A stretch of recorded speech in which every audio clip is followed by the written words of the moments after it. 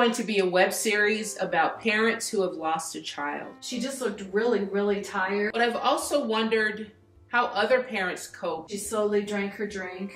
I've always wanted to tell my story and talk about losing a child. She never knew that he bought the methadone, went in to wake her up.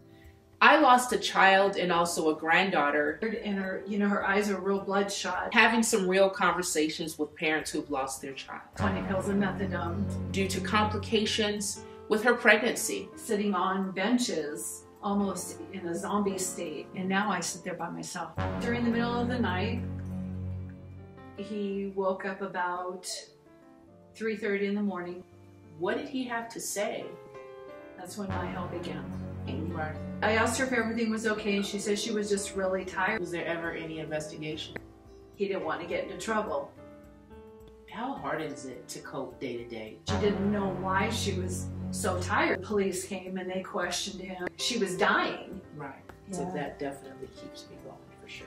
I, I think about her all through the day. I look forward to death. Really. So many people would go to the cemetery. I carry that with me every single day. A song comes on the radio, Let My Baby Die. People get tired, have gotten tired of me talking about her. Right.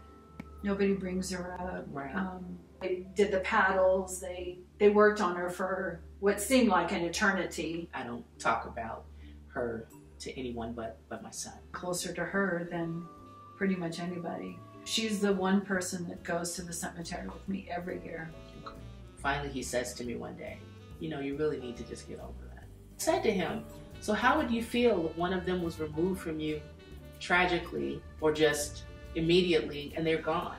I mean, I carry her with me every single day, and I'm pretty sure that's the same with you. I had a woman tell me that she knew exactly how I felt Mhm. because she had a dog Mhm. for eight years. Yeah. And I I I wanted to slap her upside her head. Like right, right. how can you compare a dog? Now I understand. I love my dogs, Yeah. But I don't love my dogs like I love my daughter. Right, absolutely.